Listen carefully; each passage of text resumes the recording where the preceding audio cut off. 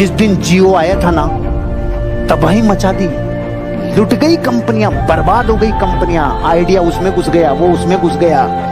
और एक अकेला बेचारा कुछ संघर्ष कर रहा था, उसका नाम था एयरटेल। फिर भी लोग रोज बोल चाहे साला में, चाहे मैं कुछ भी हो, मैं टिका रहूँगा।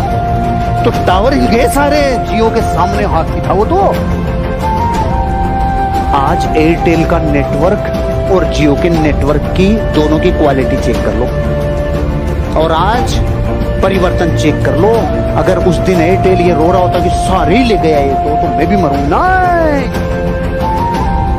मैं आपको ये कह रहा हूँ अगर ज़िंदगी में आपको ये विश्वास है कि कोई ना कोई रास्ता प्रकृति दिखाएगी या दुश्मन कुछ ना कुछ गलती करेगा या तो हमें कोई प्रकृति हेल्प करेगी या सामने वाले को कोई प्रकृति समझाएगी ऑटोमेटिक हो गया।